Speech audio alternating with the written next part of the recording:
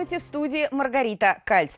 Череда банкротств крупных российских туроператоров, десятки тысяч пострадавших туристов. Такого в российском турбизнесе за последние 15 лет еще не было.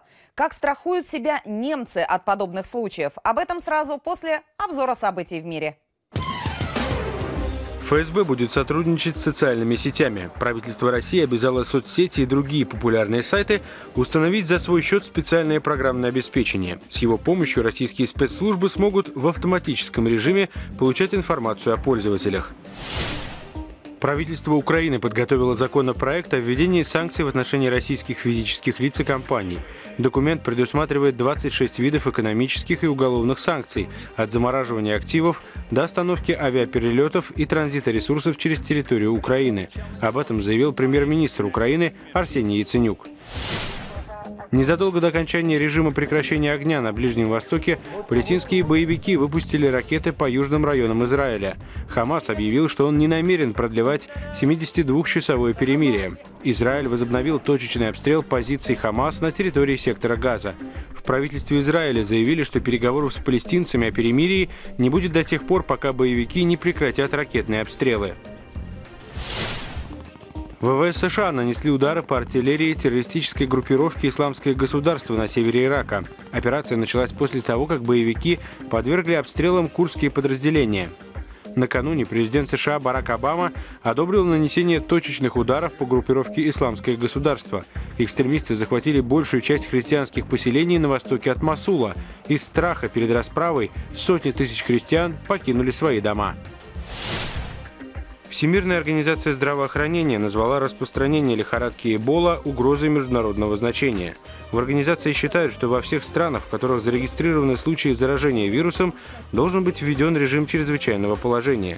По последним данным, жертвами смертоносной болезни стало почти тысячи человек – Сегодня российский туроператор «Лабиринт» прекращает выдавать своим клиентам договоры для предоставления в страховые компании. «Лабиринт» объявил о приостановке деятельности 2 августа. Это лишь один из целого ряда туроператоров, которые за последнюю неделю объявили о банкротстве. Вместо лабиринта Минотавра на Крите этим туристам пришлось иметь дело с лабиринтом российским, турфирмой, которая теперь на слуху у многих – в разгар отпускного сезона крупная компания объявила о своем банкротстве. По разным данным, от 12 до 27 тысяч клиентов турбюро на тот момент находились за границей. Еще 40 тысяч успели купить путевки. Отдых испорчен всем. Ну, политическая ситуация в стране и, наверное, чьи-то личные большие интересы материальные. Опять же, от нас, от простых людей, вот так получилось, что от директоров агентства, от менеджеров, от простых людей, которые мечтали об отдыхе, ничего не зависит. Экономика и, естественно, то, что у нас в стране творится вместе с Украиной. То же самое экономическое положение нашей страны.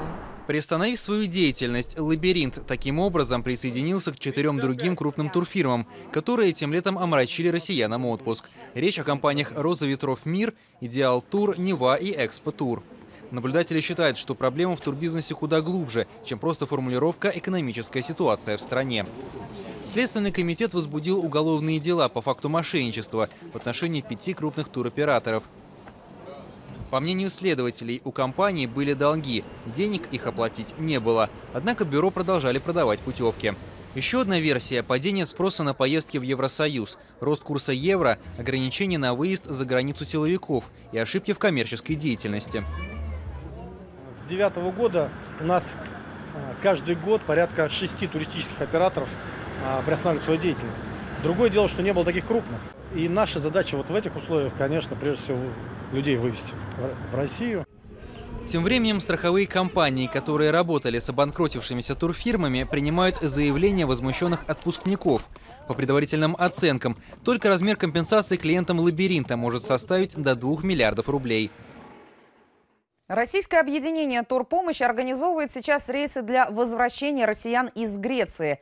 При этом в объединении сообщили, что некоторые туристы принимают решение остаться на курорте и отказываются от эвакуации. Пока же за рубежом остаются 6 тысяч клиентов, приостановивших деятельность туроператоров. Это цифры Ростуризма.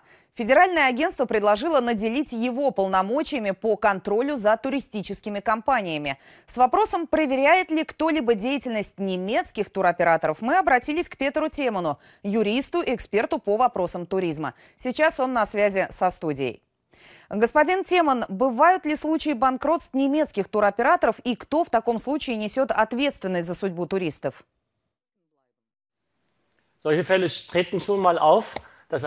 Такое случается. Турфирмы становятся банкротами. За последние 10 лет было несколько случаев, когда туристы застревали в отелях за рубежом и были вынуждены платить еще и двойную цену.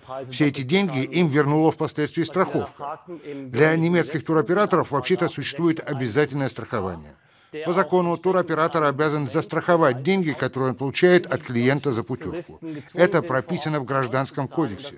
Текст этого закона получают вместе с документами все туристы, чтобы они знали, на тот случай, если немецкий туроператор обанкротится, деньги клиента застрахованы. А деятельность немецких туристических компаний как-то контролируется? Туроператоров контролируют не очень строго. Им не надо получать какого-то специального разрешения на работу, необходимо только зарегистрировать свою фирму. Ведь туроператорам не нужны ни специальное образование, ни диплом. Нужна только страховка. Но по закону страховая компания должна поставить в известность ведомство, которое выдает разрешение на ведение коммерческой деятельности, если вдруг туроператор расторгает страховой договор. Число банкротств туроператоров в Германии за последние годы не выросло, несмотря на происшествия на Ближнем Востоке и в Египте. В год в Германии банкротятся 3-4 туроператора. Например, ГТИ из Дюссельдорфа или судоходная компания два года назад. То есть такие случаи тоже нельзя исключить. Спасибо, господин Теман. На связи со студией был юрист, эксперт по вопросам туризма Петр Теман. О развитии событий смотрите и читайте на сайте Deutsche Welle в интернете, а также на наших страничках в Фейсбуке, Ютьюбе и Твиттере. У меня все на сегодня. Я желаю вам хороших выходных и оставайтесь с нами.